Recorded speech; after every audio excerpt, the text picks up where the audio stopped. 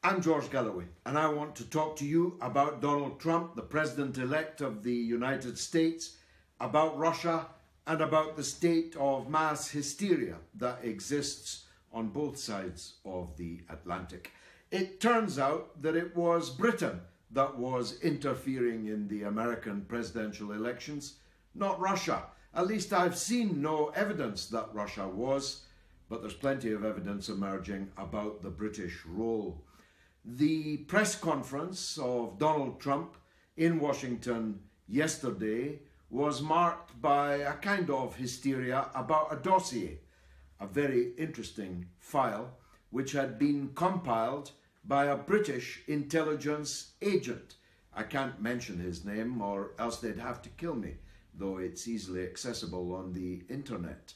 He is said to be a retired British intelligence official, although I'm not sure that they ever really retire from the service. Anyway, he wrote a report containing the most fantastical, weird, and wonderful stories about Donald Trump's conduct in Russia and, in particular, in a hotel in Moscow. I won't go into the details in case children or old ladies are watching this.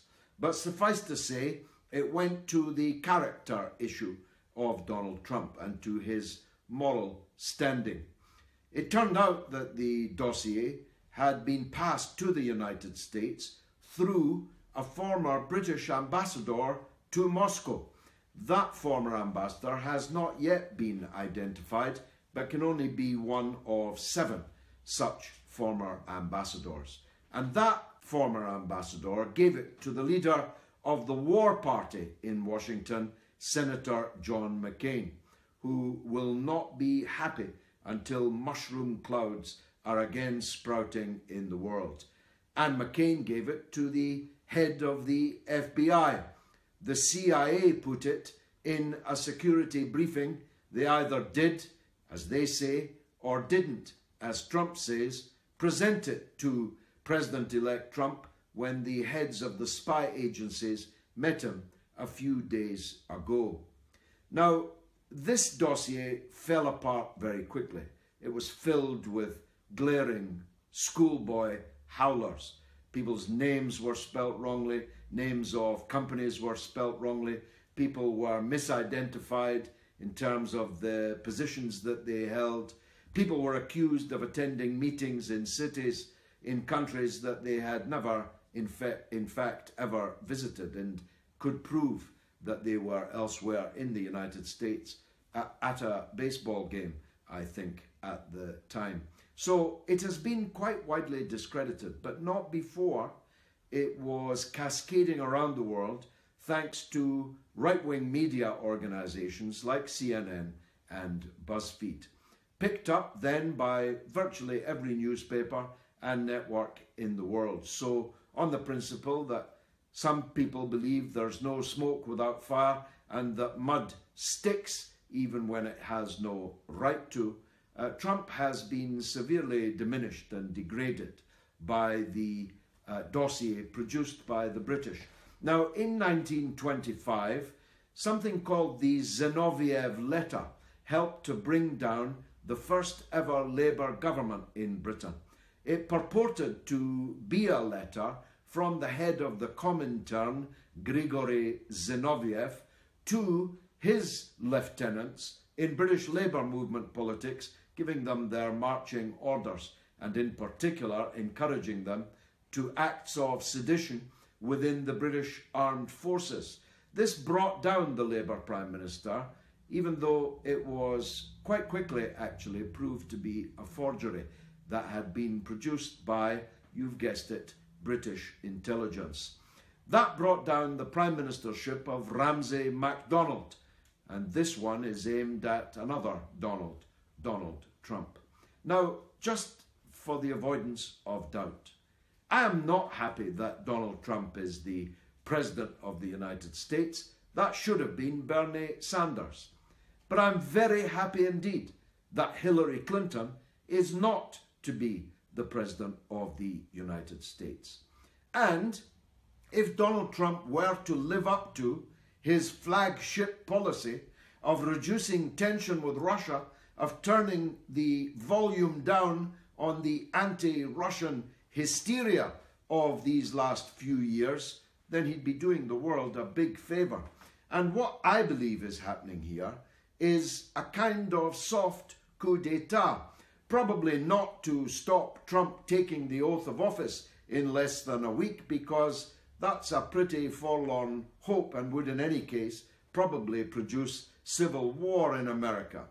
But to cut him off at the knees, to put him into a political corner so that he feels intimidated about pursuing his rapprochement with uh, Moscow. Now, uh, the signs are, early signs, that some of his lieutenants in very powerful positions, Secretary of State designate for Defence, even Secretary of State Tillerson himself, the signs are that this intimidation is working.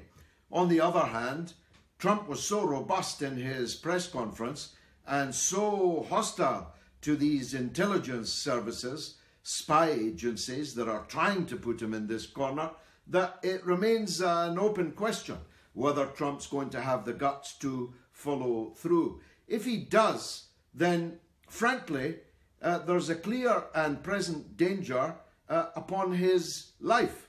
If I were him, I wouldn't be going near any grassy knolls. I wouldn't be on any motorcades in Dallas or anywhere else. I wouldn't be traveling in an open top car because the coalition which is assembling in Washington on the Potomac against Trump is not only the usual suspects, it's not only the military industrial complex that General Eisenhower, a Republican president of the past, warned us about their overweening power. It's not only the spy agencies who've killed political opponents from Patrice Lumumba through Salvador Allende, uh, Diem in Vietnam, and many others.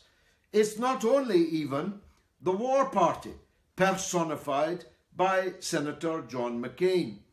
They've been joined by a new element, which is particularly virulent indeed.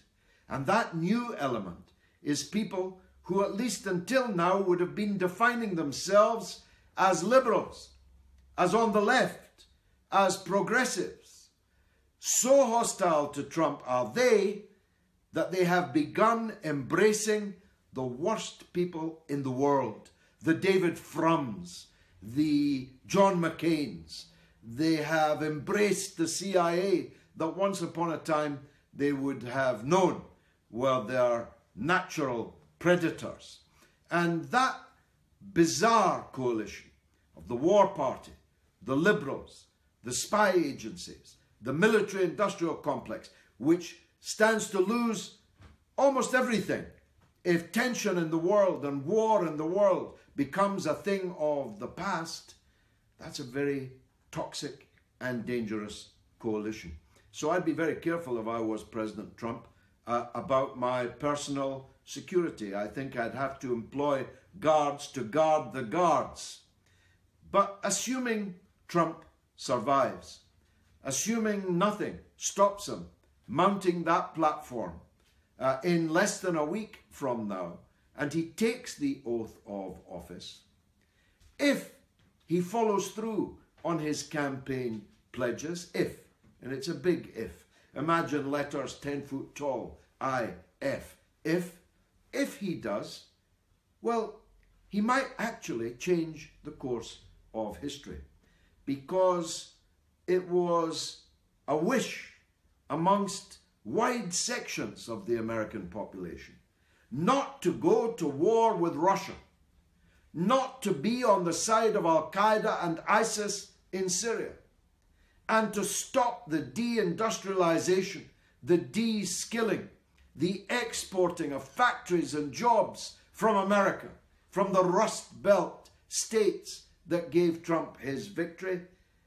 if he follows through on their aspirations, if he follows the kind of policies that Bernie Sanders is projecting, well, Trump may turn out to be unexpectedly a good thing. But if he doesn't, if he succumbs, not to the blackmail of the Russians, but to the blackmail of the deep state in his own country, well, my goodness, we are in for a turbulent roller coaster over the next four years, maybe eight years. My last word is this.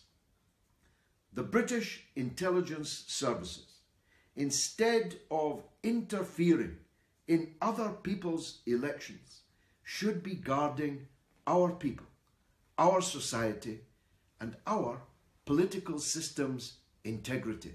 And as you saw from my last video on the activities of the Israeli embassy in London, hard evidence of interference in our democratic political process by a foreign power on behalf of a rogue state, the British intelligence would be better paying attention to protecting us from that, yes, and from the threats that are abroad and even some within against our people and against our interests.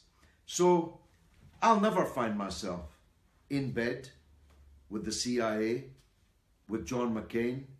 I'll never find myself in bed with MI6. We'll talk about this again sometime, I'm sure.